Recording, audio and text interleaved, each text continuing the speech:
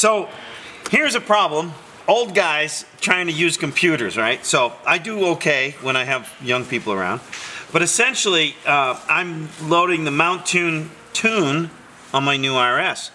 And uh, they've made a few changes, so it's supposed to run on 91 and and um, so I'm, I tried this on my own and I'm kind of proud of myself. It, it doesn't take an expert, obviously.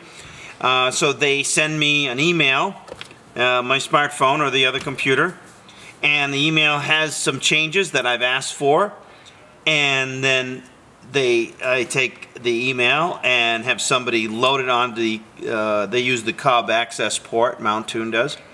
Um, and when we get this on the, we plug it in to the OBD port and we wait um, we wait for it to take the old tune out store it and then we put the new tune in sometimes this takes a while so we have a battery charger in case it takes too long and the battery goes dead, that would be kind of a bad thing when the battery goes dead halfway through loading your uh, engine tune.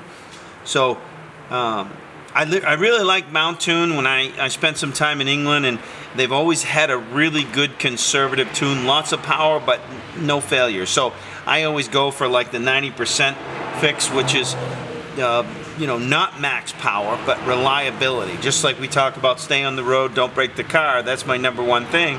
While when I'm tuning an engine, I don't want to go max power right away. I want to get it so um, it's reliable. So that's one reason I like Mountune.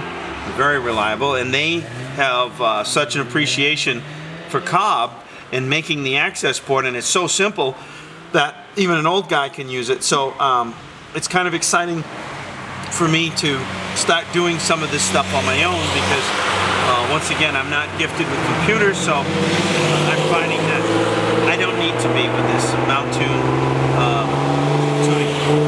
It's going to make it more crisp but for me my needs are a little different being a rally driver. I'm not after max tune. There's things like when you let off the gas, uh, the engine doesn't slow down right away. They call it their shift. Uh, it helps. It helps you shift, I suppose. It also maybe um, it's a little cleaner, maybe not so many emissions. But when I'm trying to link corners together, I'm going from a left into a right, and I give it a quick flip of the throttle. It kind of messes me up if the throttle doesn't shut down right away. Changing that a little bit, um, and also. Uh, there's some other little things like when you brake in the middle of a corner, uh, the car doesn't always like that, so uh, they have a way to adjust for that. So the brake boost option is uh, a little bit limited. And uh, there's a few other things that, uh, some engine lights that, that come on, like I'm trying to test it on the street car, but it's eventually going to be the rally car. So when we disconnect the evap system on a race car, uh, it's going to leave a light on, and this can shut off the light. Um, it can make some changes. Uh, for example, um, there's other little um, little items that make it so it's not as easy to drive when it's slippery. Um, I'm hoping that some of these little changes will will make a big difference on the RS as far as drivability um, in tricky low grip situations.